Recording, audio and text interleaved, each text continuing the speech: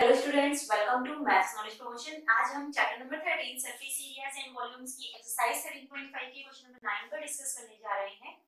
A river 3 metre deep and 40 metre wide is flowing at the rate of 2 kilometre per hour how much water will fall into the sea in a minute यहाँ हमें 2 kilometre per our ये river के water की speed दी गई है okay okay? लेकिन हमसे ये पूछा गया है कि एक मिनट में कितना पानी समुद्र में जाएगा ओके तो फर्स्टली हम ये देखते हैं कि हम जानते हैं कोई भी रिवर जो होती है वो क्यूबोइडल शेप में होती है। जैसे कि उसको इस तरह से हमें वो लेंथ की शेप में दिखाई देती है, जो पानी है वो लेंथ के अकॉर्डिंग फ्लो करता है इस तरह से ओके एंड इसकी क्यूबोइडल शेप होती है, इसमें डेप्थ होती है ओके तो इस तरह से हम अगर क्यूबॉइड की शेप बना लेते हैं तो अगर इमेजिनेशन किया जाए तो इस तरह से पानी फ्लो होता है, ऊपर की तरफ़ जो हमें दिखाई देता है। लेकिन अंदर की तरफ़ जो गहराई होती है, उसमें भी पानी ही होता है। तो ये सारा पानी जो है, ये सारा वाटर फ्लो होकर के एक समुद्र में जाकर मिल जा रहा है ओके तो यहाँ जो फ्लो हो रहा है, वो पानी भी जा रहा है समुद्र में एंड ऊपर तक, इतनी हाइट तक जितना भी ये वाटर है, ये सारा वाटर समुद्र में जाकर मिल जाता है। तो फर्स्टली हम यहाँ पर देखते हैं कि जो रिवर है, इसकी लेंथ हमें नहीं बताई गई है। लेकिन इसकी विड्थ बताई गई है, यानी कि इसको हम ब्रेथ भी बोल सकते हैं। इसकी विड्थ है 40 मीटर एंड जो डेप्थ दी गई है, वो है 3 मीटर डीप दी गई है। तो इसी को हम हाइट भी कह सकते हैं। इस क्यूबॉइडल शेप की हाइट 3 मीटर है। एंड नाउ ये देखा जाए कि ये जो 2 किलोमीटर पर आर है, इसके अकॉर्डिंग हम लेंथ फाइंड कर सकते हैं okay okay? Firstly, here D is equal to 40 meter and H is equal to 3 meter and speed of water is equal to 2 kilometer per hour. Okay? तो यहाँ हमें पता है कि जो स्पीड होती है it is equal to distance upon time okay that means distance is equal to 2 kilometre okay तो डिस्टेंस का मतलब क्या हुआ? हमें रिवर की लेंथ नहीं पता है। रिवर की लेंथ बहुत ज़्यादा होती है।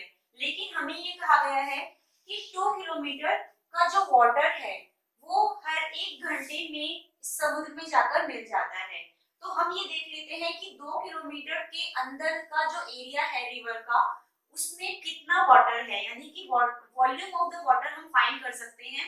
रिवर के, मान लीजिए कि ये टू किलोमीटर लेंथ है ओके तो इतना रिवर का जो हिस्सा है, इसमें कितना वाटर है, हम ये फाइंड कर सकते हैं।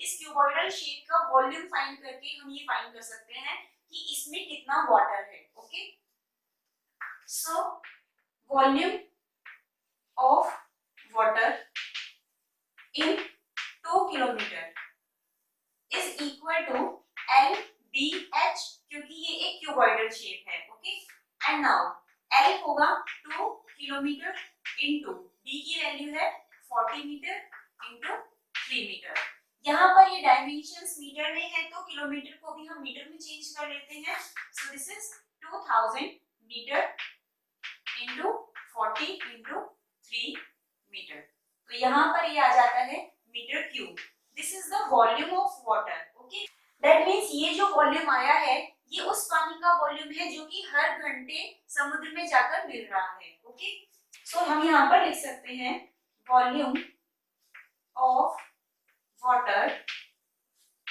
falling in into C in one hour is equal to 2000 into 40 into 3 metre cube and now हमें क्वेश्चन में ये बताना है कि एक मिनट में कितना पानी समुद्र में जाकर गिर रहा है। तो हमने यहाँ पर फाइंड किया है 60 मिनट में इतना पानी समुद्र में जाकर मिल जाता है। तो अगर हम इस वैल्यू को 60 से डिवाइड कर देते हैं तो हमें अपना आंसर मिल जाएगा okay so volume of water volume of water falling into C in one minute. It is equal to 2000 into 40 into 3 upon 60 metre cube so इसको हम कैलकुलेट कर लेते हैं. Two this is 30 three this is 10 zero से zero cancel so 4000 metre cube इतना water जो है, वो हर एक मिनट में समुद्र में जाकर मिल रहा है। दिस इज़ द आंसर यहाँ पर ध्यान देने वाली बात ये है कि ये जो हमें स्पीड ऑफ़ द वाटर दी गई थी, उसके अकॉर्डिंग हमने डिस्टेंस फाइंड की है। इससे फ़ायदा ये होता है कि ये डिस्टेंस हमें रिवर की एक फिक्स लेंथ दे देती है। यानी कि हमने ये देखा कि इतने एरिया में कितना वॉल्यूम ऑफ़ वाटर है, इसको हमें, हमने स्पीड से फाइंड कर लिया है ओके रिवर की लेंथ देना हमें पॉसिबल नहीं होता है। विड्थ एंड डेप्थ फिक्स होती है, लेकिन लेंथ फिक्स नहीं होती है।